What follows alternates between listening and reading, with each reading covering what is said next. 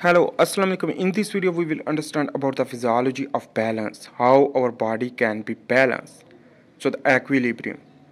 First, in this video, we will understand about the vestibulo-ocular reflex and the vestibulo-spinal reflex, how our body can maintain and how our head can maintain their posture. Let's understand about the story will begin from the ear. This ear contain a inner middle and outer ear. The inner ears contain a cochlea and the semicircular canal. These cochlea used for the sound detection through a uh, auditory nerves, while the semicircular canal is used for the balance. Uh, uh, sorry, uh, the uh, the uh, vestibular nerve, which that detect the semicircular canal position and the movement of the endolymph. While this is the incus malleus and stapes is the smaller bone we use for the vibration to detect through cochlea. And the inner ear and the eustachian tube is used for the regulation of pressure atmospheric pressure and internal pressure. This is the middle and outer and inner ear. We will understand about the inner ear Inner ear contain a vestibular apparatus is known as the semicircular canal. Three semicircular canal which that will control the head movement like the right and right and left down movement of head, up and down movement of head and right and left movement of head by this showing in this diagram with a specific semicircular canal. This is the saccule and the uh, ampulla. This is the cochlea.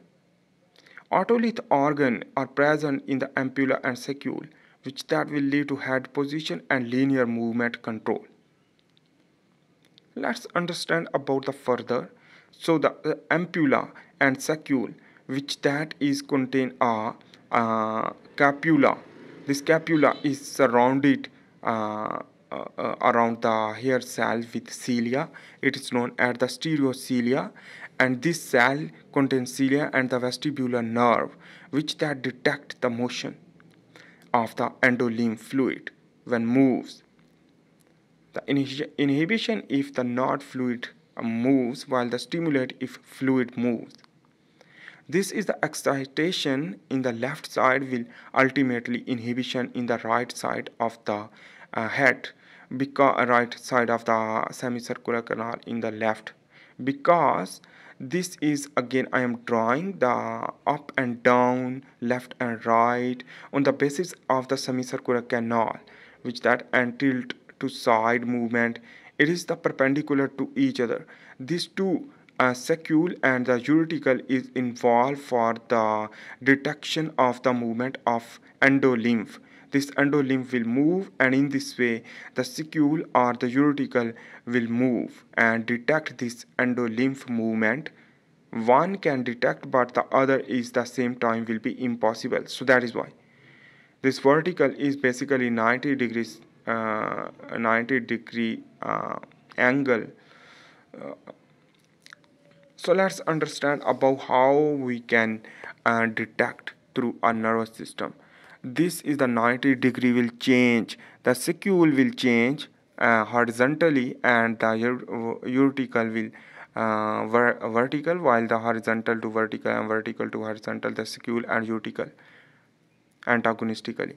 In this way the signal generated from the saccule if it if the head will be straight posture when we will stand up and the no signal from the utricle so whenever you will uh, lay down so in this way your uh, utricle which that will uh, create the signal while the no signal from the saccule in this way the endolymph basically are present in the three semicircular canal which that is one will move each time. And in this way remember that things the two semicircular canal will move uh, in one time which that will lead to also detect the motion and remember that things basically uh, semicircular canal is basically uh, a move the endolymph and the endo, uh, endolymph will move will lead to uh, detect through a and saccule. This is the left and right side of the ear. The vestibular nerve detect the vestibulo-ocular reflex first we will discuss. In this way, the left and right vestibular nuclei will uh, receive the signal from the sensory vestibular nerve. This will lead to transmit the signal to the uh, vestibulo-ocular uh, center and this will uh, neuron interconnect to the oculomotor nuclei to each other as a commissure nuclear commissure uh, neuron which that will uh, lead to left side of the rectus muscle will contract. Ultimately the right side of the eye will also contract the left side of the rectus muscle. In this the movement of the rectus muscle compensatory. In this way we can move our eyes while the head will move down or left and right but the eyes will uh, eye, eyes will maintain their posture. So the lateral rectus muscle is involved for this. While the medulla is involved this is the pons and the medulla will go down the vestibulospinal reflex. In this the spinal cord is involved for to maintain the posture and balance through muscle. So the muscle will maintain uh, by the contraction and relaxation on the basis of their position and that is why we can uh, control and that is the physiology of balance more and more the changes in the rate of motion during the acceleration or deceleration when we will travel in the car. your Urtica is sensitive to horizontal motion while the saccule is sensitive to vertical motion.